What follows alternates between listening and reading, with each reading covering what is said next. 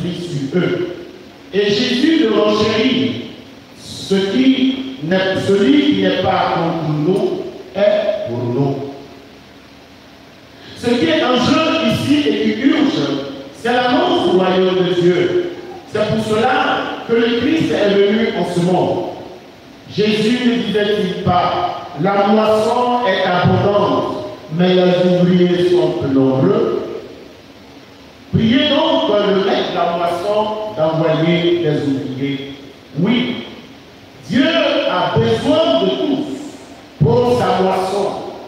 Chaque chrétien, même s'il n'est pas prêtre, même s'il n'est pas nouveau, même s'il n'est pas d'une communauté, pourvu qu'il annonce l'évangile pour faire avancer le royaume de Dieu.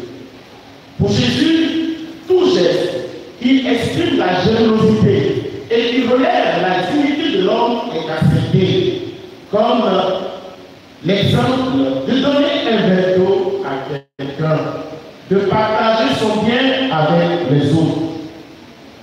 Qu'il soit chrétien ou pas, cela n'est pas mauvais. Par contre, ce que Jésus redoute, ce sont les actions qui plongent l'homme dans la déchéance et le déshumanisme. D'où la notion du scandale. Le scandale est l'acte qui fait un mauvais exemple, qui éloigne l'homme de la foi. En effet, une bonne action conduit à reconnaître Dieu, à indiquer la voie du salut.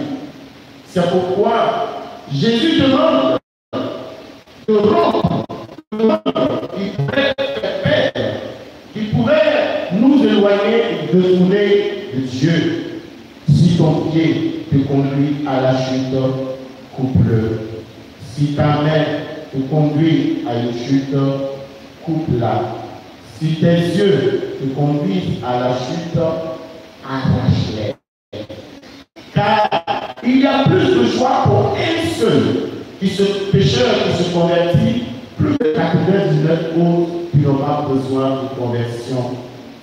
Jésus n'est-il pas allé chercher un seul, une seule brebis en abandonnant les 99 autres Ce qui importe pour Jésus, c'est la conversion de l'homme et de tout homme. Ainsi, pour Jésus, nos sens doivent nous aider à poser des actes qui nous conduiront à gagner la vie éternelle et d'extirper, d'enlever ce qui pourrait nous faire perdre. Car la finalité de la vie chrétienne, c'est la vie éternelle. C'est pourquoi il dit bien, vaut mieux aller dans le paradis avec euh, être bon chaud ou d'aller à l'enfer ou brûle le feu. Et la vie avec Dieu, la valeur qui nous permettra de gagner cette vie, c'est la charité, le partage, les bonnes actions qui relèvent l'homme. C'est pourquoi, dans la dixième lecture, Saint Jacques dit bien, demande aux riches de partager. Car, comme le dit bien Jésus en Saint Luc, Faites-vous des amis avec la peur. Au cas où il vient en manquer, on vous reçoit dans les douleurs éternelles. Frères sœurs, la valeur de Christ à l'union, à la communion et à la paix. Mais comme le son, la prière, préserve-nous de l'orgueil. Ce qui nous divise et ce qui conduit à la destruction de nos communautés, de nos familles et de nos amitiés, c'est l'orgueil, c'est l'égoïsme, c'est l'individualisme, c'est le fait de paraître, qu'on appelle la philotilia, l'amour de l'honneur.